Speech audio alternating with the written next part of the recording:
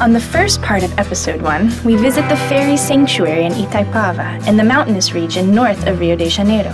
Founded by Patricia Fittipaldi, a veterinary doctor and activist for animals' rights, the sanctuary is home to over 100 farm animals that have been abandoned on the side of the road and luckily were found and rescued by Patricia.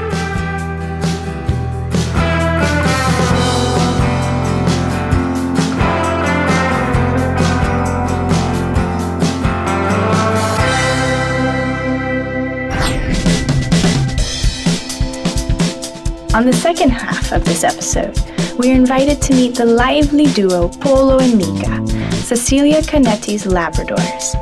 A member of the Brazilian national water polo team, Cecilia is a high level athlete and has always been very fond of sports.